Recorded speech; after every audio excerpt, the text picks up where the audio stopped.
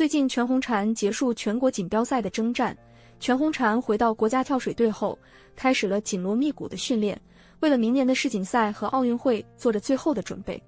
而最近，全红婵得知了一个令她感到振奋的消息：她的恩师郭毅获得了重大殊荣。全红婵的启蒙恩师郭毅获得了2023年全国体育事业突出贡献奖。郭毅老师一直以来都是全红婵的榜样和引路人，他的成就和荣誉不仅是对自己的肯定，也是对全红婵等一批年轻运动员的激励。在得知这个消息后，全红婵感到非常高兴和自豪。他知道郭毅老师的成功背后有着无数次的努力和坚持，正是这种精神鼓舞着他，让他在跳水这条路上不断前行。在接下来的训练中，全红婵更加努力地投入其中。她明白，只有不断的提高自己的技能和水平，才能在明年的世锦赛和奥运会上取得更好的成绩。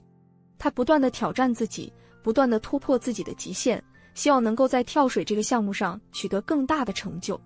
在名单中的其他六名同志，他们都是在自己的岗位上默默奉献，为广东体育事业的发展做出了杰出的贡献。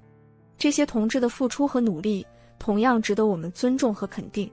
据媒体报道，这次评选过程非常严格，经过了层层筛选和审核，最终才确定了这七名同志作为广东体育局的推荐对象。而这份名单也是经过了严格的公示，如果没有其他人提出意见，这几位同志就可以获得这个荣誉。在得知恩师郭毅获得全国体育事业突出贡献奖后，全红婵非常激动。他表示，没有郭毅教练的启蒙和指导，就没有他今天的成就。这份荣誉属于他们共同的团队，也属于所有为中国跳水事业付出辛勤努力的教练和队员们。全红婵一直感激郭毅教练的悉心教导和无私奉献。他清楚地记得，在他的训练中，郭毅教练总是耐心细致地指导他，鼓励他不断挑战自我。当他遇到困难和挫折时，郭毅教练总是及时出现，给予他最大的支持和帮助。这份恩情，全红婵一直铭记在心。